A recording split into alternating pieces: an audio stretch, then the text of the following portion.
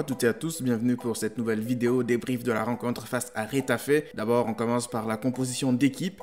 J'ai vu une équipe qui m'a beaucoup plu, malgré la présence de Sergi Roberto qui s'explique par le fait que Semedo était malade en début de semaine. Il n'a participé d'ailleurs qu'à un seul entraînement. Donc, composition d'équipe vraiment parfaite pour moi. Un début de match assez compliqué. Retafe est venu nous chercher ultra haut et on avait du mal à sortir les ballons. On avait du mal à se trouver. On faisait des pertes de balles quand même assez ridicules par moment et on enchaînait les passes dans notre moitié de terrain. Mais il y a quelque chose qui m'a beaucoup énervé durant cette première mi-temps. C'est le nombre de minutes où on a joué à 10 face à Retafe. On a joué à 10. Pourquoi? Parce que Jordi Alba s'est blessé quand même assez rapidement et je n'ai pas compris pourquoi est-ce qu'il a fait semblant de rester en attendant que Junior Firpo s'échauffe et soit prêt. Parce que numériquement, il est là, mais en fait, en réalité, il n'est pas là. On jouait donc à 10 de longues minutes jusqu'à ce que Alba décide de s'asseoir. Il aurait dû le faire beaucoup plus tôt. Il aurait dû s'asseoir sur le terrain ou alors sortir. À ce moment-là, il y aurait eu une réorganisation tactique parce que pas mal de ses coéquipiers ne savaient pas qu'il était blessé. Il y avait juste Sétienne parce qu'il a fait un signe subtil pour son remplacement et donc Sétienne s'est tout de suite exécuté.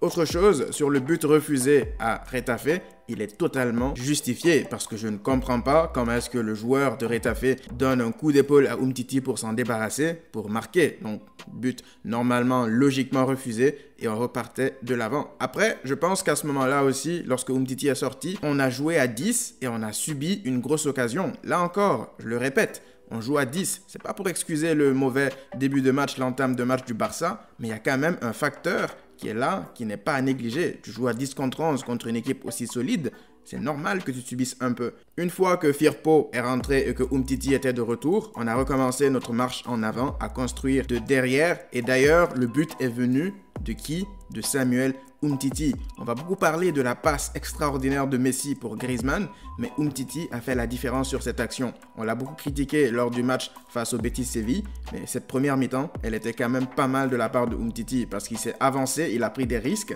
et la passe cachée qu'il a sortie est celle qui a déclenché en réalité tout le mouvement d'attaque. Après, évidemment, il fallait un joueur tel que Messi pour sentir une telle passe en une touche de balle pour Griezmann, mais l'action était très bien construite et la finition de Griezmann était encore une fois limpide. Griezmann, encore une fois, prouve que s'il est trouvé dans de bonnes conditions, il va marquer des buts. D'ailleurs, durant cette première mi-temps, les journalistes français qui nous disaient que la connexion Messi-Griezmann était inexistante et que Messi, soi-disant, déteste Griezmann, je pense qu'aujourd'hui, ils peuvent faire du moonwalk et rebrousser chemin parce qu'on a vu sur l'action du but comment Messi a trouvé Griezmann et même avant la fin de la mi-temps, Griezmann a servi Messi sur un plateau qui aurait pu faire le 3-0. Donc moi, cette histoire de Messi-Griezmann, comme je vous l'ai dit, pour moi, c'est quelque chose de ridicule dès le départ. Donc je n'y accorde aucune importance. Ensuite, il y a quelque chose dont j'aimerais parler sur le deuxième but du Barça. Voilà une action collective dont j'aimerais parler en particulier. Depuis longtemps, je n'ai pas vu ça. Je m'explique. Dans la construction jusque dans la finition, tout était parfait dans cette action. Rien n'est à jeter. Surtout, j'aimerais préciser que le latéral gauche a fait une passe décisive pour le latéral droit. Ça fait longtemps qu'on n'a pas vu ça au Barça. Et ça, c'est un signe qu'il y a du travail effectué aux entraînements. La deuxième mi-temps, quant à elle, est catastrophique. Il n'y a pas d'autre mot à retenir. Cette deuxième mi-temps, elle est juste horrible. Déjà, Rétafé, ils ont réussi à nous sortir totalement de notre match. Ils ont enchaîné les petites fautes les fautes à répétition pour casser toutes les actions. Pour ceux qui ne savent pas, Bordalas, l'entraîneur de Retafe, est un disciple du Cholo Simeone et tout le monde dit en Espagne que c'est le nouveau Diego Simeone. Moi, ça ne m'étonnerait pas déjà qu'il reprenne l'Atlético sous peu. Donc Retafe a enchaîné les fautes d'anti-jeu pour complètement nous sortir du match et donner des coups et aller de l'avant, mettre de l'intensité, de l'impact. Ils nous ont complètement bouffé. On s'est retrouvé totalement désorienté et naturellement, la réduction du score est arrivée via Anrel. Anrel, qui, je le rappelle, est fortement pressenti pour être le remplaçant de Ousmane Dembélé pour le joker médical. Donc on verra comment cela va évoluer. Antoine Griezmann qui rate un but tout fait avant de rater une autre occasion du pied droit. Celle-là, je lui en veux moins. Mais l'occasion où Ansu Fati se rate et qu'il est tout seul face au gardien qui la met en haut, il n'a pas le droit de rater celle-là. Par contre, il y a quelque chose qui m'a pas mal frustré par rapport aux joueurs du Barça.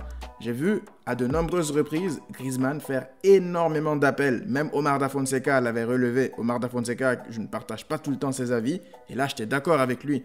À chaque fois, Griezmann faisait des appels, mais il n'était ni servi par Busquets, ni par Arthur, même parfois par De Jong. Alors que si c'était Messi qui faisait ses appels, c'est sûr qu'il aurait reçu des passes. Donc j'ai l'impression que les joueurs n'arrivent toujours pas par moment à se dire qu'il y a autre solution que Messi.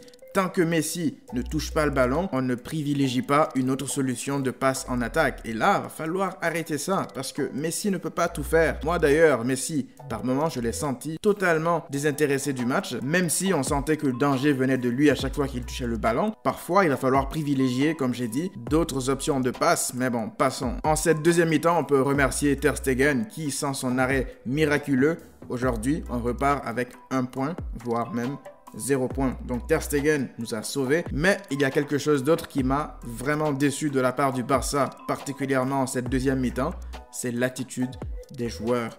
L'attitude des joueurs. Aujourd'hui, le Barça, en deuxième mi-temps, ressemblait à une petite équipe. Dans la mentalité, on a joué comme si on était dernier du championnat ou alors on se maintenait pour ne pas redescendre en deuxième division parce que le fait de gagner du temps à partir de la 70e minute, je trouve ça vraiment ridicule. Pas mal de fois, on a vu Ter Stegen gagner du temps, gagner des secondes avant de relancer. On a vu aussi à la sortie de Ansu Fati qu'il était nonchalant, qu'il voulait gagner du temps pour sortir. Il a même fallu que les joueurs de Retafe viennent le raccompagner pour sortir, pour que ce soit beaucoup plus vite. Ça, c'était le symbole du match raté du Barça en deuxième mi-temps, tout simplement. Autre chose que j'aimerais signaler qui est vraiment inquiétant, le milieu, Busquets, Arthur, De Jong ne marche simplement pas. On l'a vu à deux reprises ces dernières semaines. On l'a vu face à Valence, c'était une catastrophe. On l'a vu aujourd'hui encore face à Retafe et ce n'était pas mieux. Arthur est pour moi le maillon faible de ce match, au milieu en tout cas. Il n'a pas du tout apporté grand-chose. Il a fait des passes latérales. J'ai senti qu'il ralentissait quand même pas mal le jeu.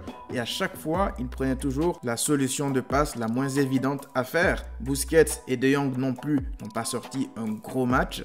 Mais par rapport à Arthur, on peut dire que ça va. Mais c'est vraiment inquiétant parce que nous, en tant que fans, on a longtemps réclamé ce milieu de terrain. Est-ce qu'il manque d'automatisme? Est-ce qu'il manque de complicité? C'est vraiment quelque chose qui est inquiétant. Peut-être qu'il faut encore du temps pour les voir vraiment à leur maximum parce qu'une chose est sûre, individuellement, ces joueurs-là sont des top joueurs. Donc, impossible de me dire que ces joueurs-là ne peuvent pas jouer ensemble. Peut-être qu'il manque encore la formule pour que ça fonctionne, mais jamais de la vie on peut se dire que ces joueurs n'ont pas le niveau pour jouer au Barça, du moins en même temps. Par contre, il y a une chose que je n'ai pas du tout appréciée dans le coaching de Sétienne aujourd'hui, c'est l'entrée de Ivan Rakitic. Il voit très bien qu'on a du mal à sortir les ballons, qu'on a du mal à enchaîner 2-3 passes, et il sort Arthur pour qui? Pour Rakitic.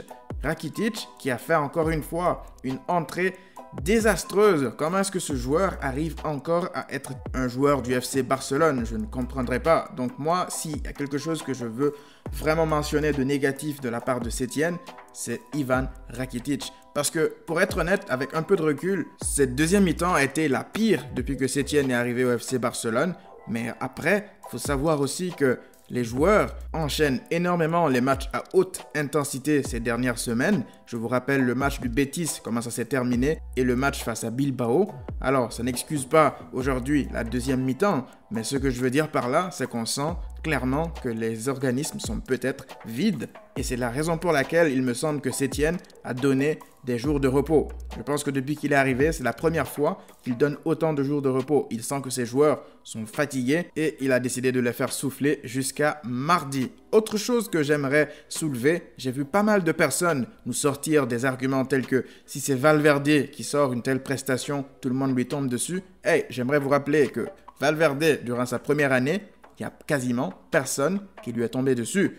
D'ailleurs, il y a beaucoup de personnes qui ont sorti l'argument pour Valverde lors de sa première année qu'il a été amputé de Neymar et qu'il avait un effectif peut-être pas au niveau pour sortir du beau jeu. Je vois ces mêmes personnes qui aujourd'hui sont là à défendre Valverde et à cracher sur Sétienne après seulement quelques semaines. J'arrive pas à comprendre. Je veux dire, si vous préférez Valverde, ben, tant mieux pour vous. Si vous voulez que Valverde revienne et qu'on reprenne notre marche dans la purge qu'on avait constamment, ben, c'est votre problème. Moi, personnellement, je ne veux pas ça. Aujourd'hui, il y avait une première mi-temps où il y a plein de choses importantes à retenir de positif. En deuxième mi-temps, c'était catastrophique. Ce n'est pas une raison de tout jeter à la poubelle et de cracher sur Sétienne. Je le dis et je le répète, pour moi, je fais confiance encore et toujours à Kike Sétienne. N'en déplaise aux personnes qui comparent Sétienne à Valverde, alors que l'un est là que depuis quelques semaines et que l'autre a sorti des purges comme ça de façon constante depuis deux ans et demi, c'est juste incroyable. Donnez-moi vos avis dans la section commentaires. Comment est-ce que vous avez pensé de la prestation générale? Comment est-ce que vous expliquez cette deuxième mi-temps ultra moyenne? Je vous attends dans la section commentaires pour en discuter avec vous. C'est déjà la fin de cette vidéo. Merci encore d'être là. On se retrouve très rapidement pour une nouvelle vidéo. Comme vous le savez, d'ici là, prenez tout soin de vous et à très vite.